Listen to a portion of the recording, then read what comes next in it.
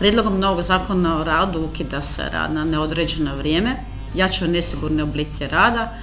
Do sada smo imali zbošljavanje radnika na određeno vrijeme, novozaposlenih radnika u statističkim iznosima oko 90%. Sada se novim zakonom o radu jača i agencijski rad i svi ostali nesigurni oblici rada.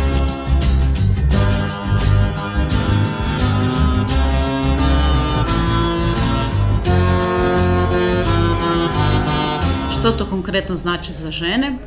Žene koje rade na neodređeno vrijeme do sada su uživale zaštitu u odnosu na pitanja materinstva, roditeljstva i trudnoće. Novim prijedlogom zakona o radu predlaže se da postupak likvidacije poslodavca ne utječe na zabranu otkaza ženi koja je trudna.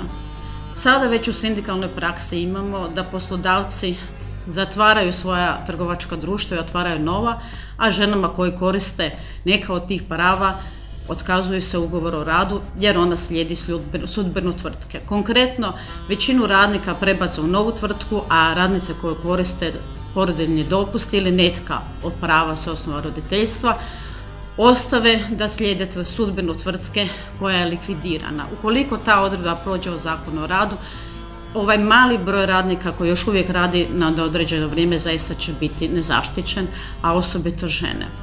Moramo napomenuti da sve te zabrane otkaza za vrijeme korištenja trudnoće, porodnog dopusta i svih ostalih prava s osnova roditeljstva ne utječu na radnopravni status žena koje rade na određeno vrijeme, odnosno u drugim oblicima, nesigurnim oblicima rada.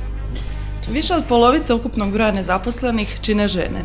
Danas 90% žena radi na određeno vrijeme. Četiri od deset žena bit će diskriminirane na temelju trudnoće. Samo 20% žena radi na rukovodećim pozicijama. Protiv sam zakona o radu jer se njime produbljuje ekonomska nejednakost i diskriminacija žena u svijetu rada.